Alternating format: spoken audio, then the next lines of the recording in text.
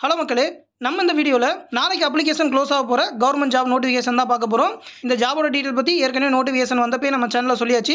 லாஸ்ட்டாக ஒரு தடவை அப்ளை பண்ணுறதுக்கு ரிமைண்ட் பண்ணுறதுக்காக தான் இந்த வீடியோ அதுவும் பார்த்தீங்கன்னா ஒரு நாள் முன்னாடியே சொல்கிறது எதற்காகனாக்கா போஸ்டர் மூலியமாக சில ஜாபுக்கு விண்ணப்பிக்கிற மாதிரி இருக்கும். அதனால் ஒன் டே பிஃபோர் அப்ளை பண்ணால் தான் நாளைக்கு போய் சேரும் அப்படின்றதுனால இன்றைக்கி அதை பற்றி சொல்கிறோம் அப்ளை பண்ணாதவங்க கண்டிப்பாக அப்ளை பண்ணிடுங்க இந்த ஜாப்ஸ் எல்லாத்தோட நோட்டிஃபிகேஷன் பிடிஎஃப் அப்ளிகேஷன் ஃபார்மோட டேரக்ட் லிங்க் எல்லாமே இந்த வீடியோ கீழே டிஸ்கிரிப்ஷனில் கொடுத்துருப்பேன். அதிலே போய் நீங்கள் பார்த்து தெரிஞ்சுக்கலாம். இந்த ஜாப்ஸ் எல்லாம் அப்ளை பண்ணுறதுல ஏதாவது டவுட்ஸ் இருந்தாக்கா கமெண்ட் செக்ஷனில் கேளுங்க.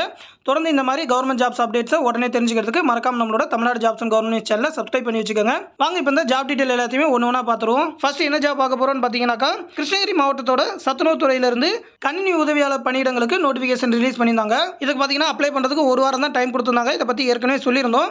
இந்த ஜாபுக்கு பார்த்தீங்கன்னா நாளைக்கு தான் லாஸ்ட் டேட்டு இன்றைக்கே நீங்கள் போஸ்ட் மூலிமா அப்ளை பண்ணால் நாளைக்கு ஈவினிங்குள்ளே அவங்க கையில் போய் சேரும். லாஸ்ட் டேட்டுக்கு அப்புறம் அனுப்புனாக்கா அந்த அப்ளிகேஷன் ஃபார்மை ரிஜெக்ட் பண்ணிடுவாங்க மொத்தம் பார்த்தீங்கன்னா ஒரு வேகன்சி தான் சொல்லியிருக்காங்க. அதுவும் ஜென்ரல் டேன் அப்படின்னு சொன்னதுனால எல்லா கம்யூனிட்டி சேர்ந்தவங்களும் விண்ணப்பிக்கலாம். இந்த சத்துணவு துறைக்கு வந்து எல்லா மாவட்டத்திலுமே வேகன்சி இருக்குது இப்போதைக்கு கிருஷ்ணகிரி தான் ரிலீஸ் பண்ணியிருக்காங்க. மற்ற மாவட்டங்களுக்கு வந்த உடனே கண்டிப்பாக சொல்கிறோம் ஆனால் இந்த ஜாபுக்கு எல்லா மாவட்டத்தை சேர்ந்தவங்களும் விண்ணப்பிக்கலாம். இருந்தாலும் கிருஷ்ணகிரி மாவட்டத்தை சேர்ந்தவங்க மட்டும் அப்ளை பண்ணுங்கள் ஜாப் வந்து சொந்த ஊர்லேயே இருக்கும். salary பார்த்தீங்கன்னா பன்னெண்டாயிரம் ரூபா அப்படின்னு சொல்லி சொல்லியிருக்காங்க. ஏஜ் லிமிட்லாம் முப்பத்தோரு வயசுலேருந்து நாற்பது வயசு வரைக்கும் எஸ்சி எஸ்டி கேண்டிடேட்ஸ் மற்றவங்களாம் பார்த்தீங்கன்னா முப்பது வயசு வரைக்கும் அப்ளை பண்ணலாம் அப்படின்னு சொல்லி சொல்லியிருக்காங்க. போஸ்ட் மூலியமாக தான் அப்ளை பண்ணும். அதோட அப்ளிகேஷன் ஃபார்ம் பிடிஎஃப் கூட கொடுத்துருக்காங்க.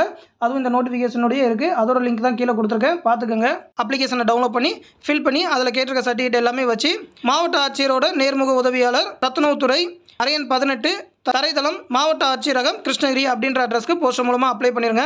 இதுக்கு குவாலிஃபிகேஷன் எனி டிகிரி படித்து கம்ப்யூட்டரில் எம்எஸ் ஆஃபீஸ் ஒர்க் பண்ண தெரிஞ்சிருந்து டைப்பிங்கில் இங்கிலீஷ் அண்ட் தமிழ் முடிச்சிருந்தாக்கா அப்ளை பண்ணலாம்னு சொல்லியிருக்காங்க. எலிஜிபிளாக இருக்கிற எல்லாரும் கண்டிப்பாக அப்ளை பண்ணிருங்க. இப்போ அடுத்த நோட்டிஃபிகேஷனை பார்ப்போம். அடுத்து பார்த்தீங்கன்னா டிஎன்பிஎஸ்லேருந்து ரிலீஸ் பண்ண குரூப் ஃபைவ் ஏ நோட்டிஃபிகேஷன் தான் பார்க்க போகிறோம் இதற்கும் லாஸ்ட் டேட் நாளைக்கு தான். இந்த நோட்டிஃபிகேஷன் பற்றி ஆல்ரெடி பார்த்தாச்சு. அதோட லிங்க்கும் கீழே கொடுத்துருக்க எடுத்து பார்த்துக்கோங்க.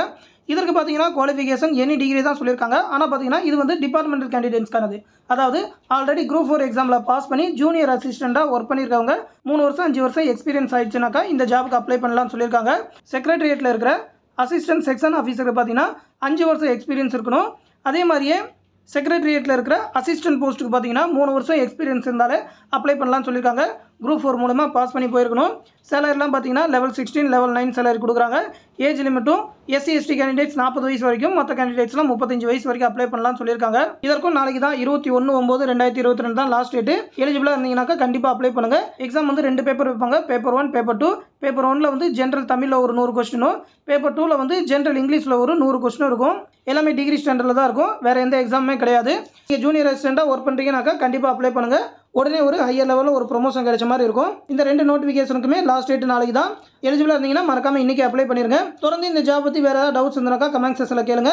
இதே மாதிரி கவர்மெண்ட் ஜாப்ஸ் பற்றின அப்டேட்ஸை தெரிஞ்சுக்க மறக்காம நம்மளோட தமிழ்நாடு ஜாப்ஸ் கவர்மெண்ட் சேனலில் சப்ஸ்கிரைப் பண்ணி வச்சுக்கோங்க. உங்கள் ஃப்ரெண்ட்ஸ் அண்ட் ஃபேமிலி மெம்பர்ஸ்க்கு இந்த வீடியோஸை ஷேர் பண்ணுங்கள் அடுத்து இன்னொரு முக்கியமான அப்டேட்டோட சந்திக்கிறேன். நன்றி.